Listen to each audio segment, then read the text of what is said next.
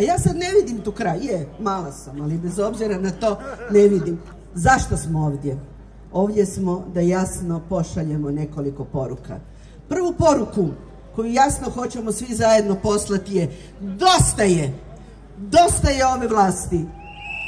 Ovo je prijelomni trenutak, prijelomni trenutak gdje se svi zajedno moramo odlučiti. Da li ovoj našoj zemlji želimo ponuditi nadu i budućnost? Ili želimo u ovoj našoj zemlji da se ponovo svi zajedno valjamo u kaljuži, u mulju, u beznađu, u lošim situacijama, u stagnaciji u kojoj nam, nam ovu zemlju ostavlja HDZ. HDZ nikad ne pogriši. Svaki put kad dođe na vlast, kog donese i dovede? Dovede poslušnike, dovede lopove, dovede sve one koji su zarobili naše institucije. I nedavno, jednako tako, odlučili su zarobiti jednu instituciju.